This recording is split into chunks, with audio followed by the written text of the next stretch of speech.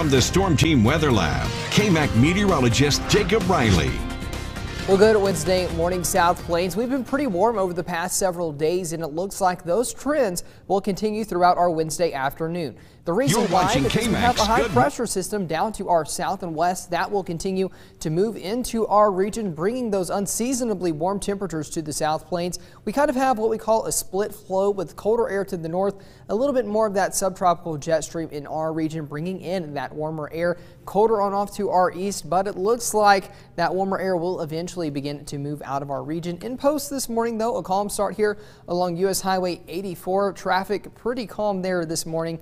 And again, looks like it will remain that way over the next couple of hours or so. Now, those winds today are going to be a little gusty at times out of the west, upwards of 40 miles per hour throughout the day and even the overnight hours. So that's why we have an elevated risk for fire weather over western portions of Gaines County back through Lea County, New Mexico for both today and tomorrow. So outdoor burning in those regions will not be advised. But for today, what will be advised is getting outside and just enjoying that warmer air. We're talking record highs today in the city of Lubbock with highs in the lower 80s. 81 is what this model shows for the hub city.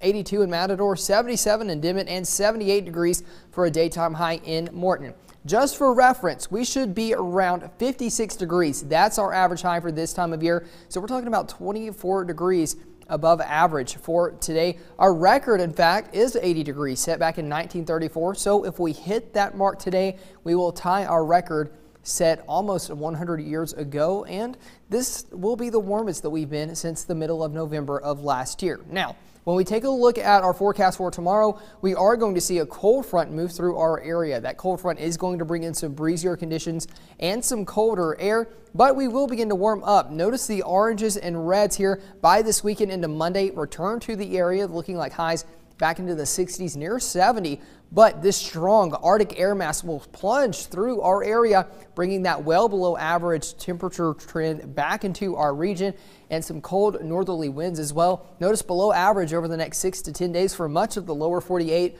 with the exception of the desert southwest. Now, for the city of Lubbock today, we'll top out near 80. Tomorrow will be around 58 degrees. What's going to happen throughout the day on Thursday? A cold front is going to push through, so our northern zones will likely be in the upper 40s and southern zones in the middle to upper 60s. So we're going to see quite the range in temperatures for Thursday. More sunshine for the weekend, though. A little cool highs ranging from the mid 50s to low 60s.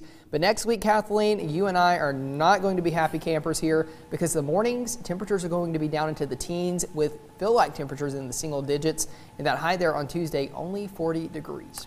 Yeah, I think we're uh, kind of getting spoiled this week, and next week is just going to be our uh, smack back to reality. You know, sure. I'm kind of aggravated with Mother Nature because we love the warmer weather. At least you and I both Yes. do. But it's just going to make it so much harder to get through the rest of winter. it definitely is.